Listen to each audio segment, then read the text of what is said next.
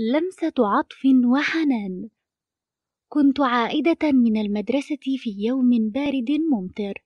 فوجدت قرب باب منزلنا قطيطة صغيرة تموء بصوت مزعج وقد اغبر وجهها وقف شعرها واهتز جسمها وذبلت عيناها وارتعش ذيلها.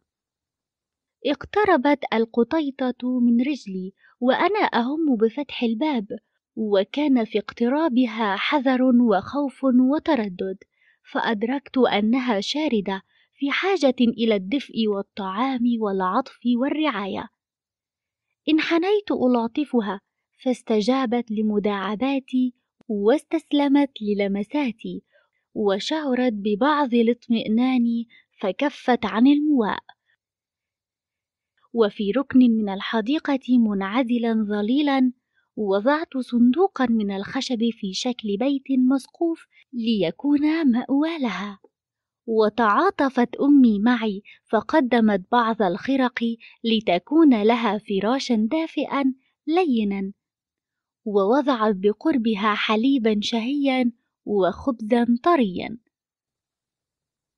فأقبلت القطيطة على الخبز تزدرده وعلى اللبن تلعقه إلى أن شبعت وارتوت وتخلصت من آلامها وفزعها ورق مواؤها فغدا نغمة عذبة وشع بريق السعادة في عينيها.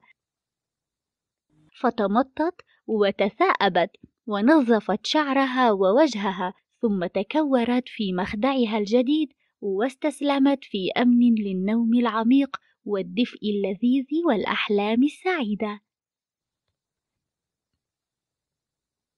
أكتشف وأفهم. أولاً أتأمل الصورة المصاحبة ثم أقرأ ما يأتي وأجيب عن السؤال. اقتربت القطيطة من البنية وكان في اقترابها حذر وخوف وتردد. ماذا تريد القطيطة من البنية؟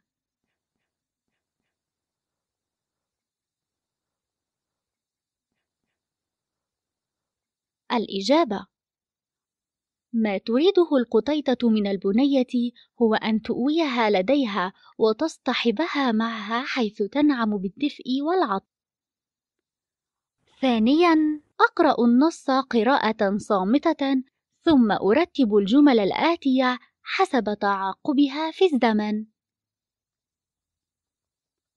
القطيطة تبحث عن ملجأ يقيها شدة البرد وقساوة الجوع. استسلمت القطيطة لنوم عميق.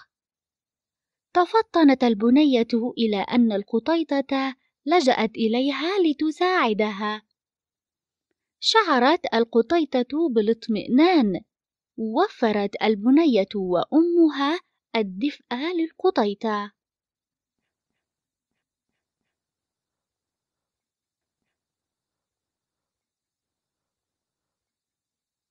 الإجابة.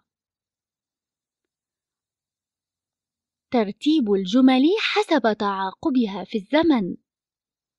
القطيطة تبحث عن ملجأ يقيها شدة البرد وقساوة الجوع. تفطنت البنية إلى أن القطيطة لجأت إليها لتساعدها. وفرت البنية وأمها الدفء للقطيطة.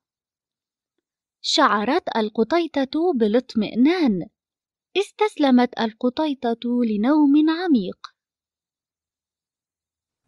ثالثا قامت القطيطة بمجموعة من الأعمال لتجلب الانتباه إلى حالتها. أذكر هذه الأعمال.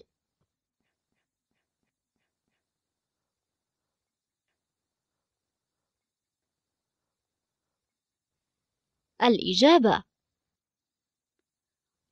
الأعمال التي قامت بها القطيطة لتجلب الانتباه إلى حالتها؟ المواء بصوت مزعج. الاقتراب من الفتاة بحذر وخوف وتردد. رابعا. ألف. في النص عبارة معناها توقفت عن المواء وأخرى بمعنى فهمت أستخرجهما.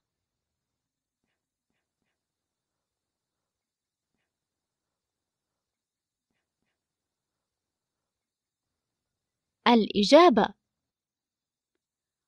توقفت عن المواء تساوي كفت. فهمت تساوي أدركت. باء. أعوض ما تحته سطر بما يفيد المعنى نفسه. قف شعر القطيطة. تمطت القطيطة. تكورت القطيطة في مخدعها.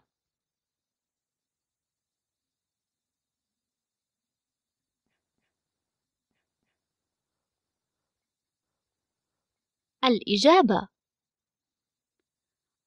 ارتعش شعر القطيطة تمددت القطيطة تجمعت القطيطة في مخدعها.